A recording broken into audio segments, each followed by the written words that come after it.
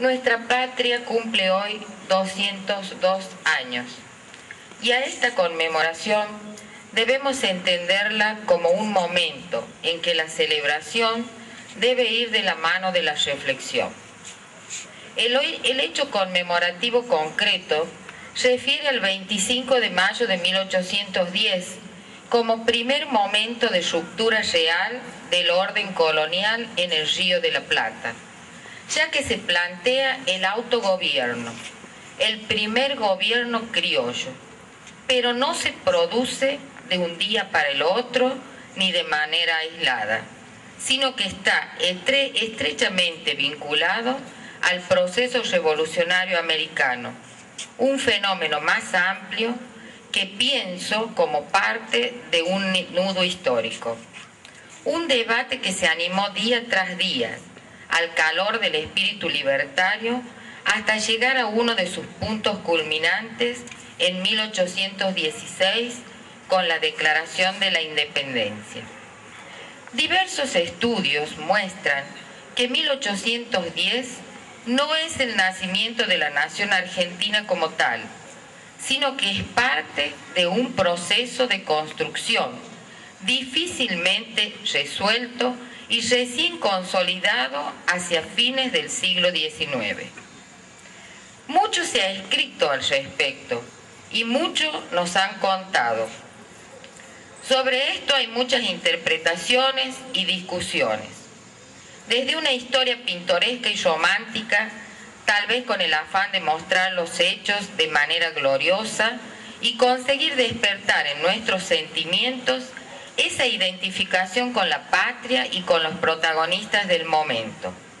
Y no estuvo mal hacerlo, era necesario, y así lo entendió la generación del 80, tan cuestionada hoy por hoy. De aquel relato surgieron románticas ideas, tales como los colores de la escarapela inspirados por Manuel Belgrano al mirar los colores del cielo, o la imagen del 25 de mayo con el pueblo agolpado frente al cabildo en un día lluvioso bajo cientos de paraguas multicolores y con la premisa de el pueblo quiere saber de qué se trata.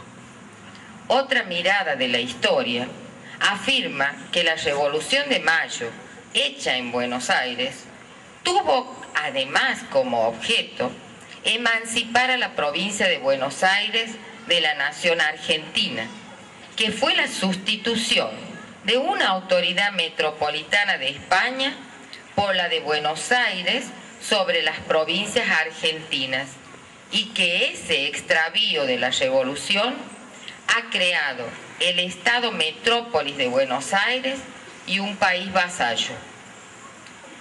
Pero no podemos negar el carácter de, revolución del 25 de mayo de 1810, que trajo consigo una serie de transformaciones que de otra manera no se habrían producido. El fin de la dominación española en el Río de la Plata y en América, la desintegración del virreinato del Río de la Plata, el fin del monopolio comercial español y otros tantos. Sin embargo, reitero, no debemos caer en la falsa ilusión de un 25 de mayo con paraguas y cintas celestes y blancos. La revolución no fue tan pacífica como aparentó y muchas veces se impuso con violencia ante sus opositores. Y como toda ruptura, ella trajo aparejado temores, desgarros, dolor.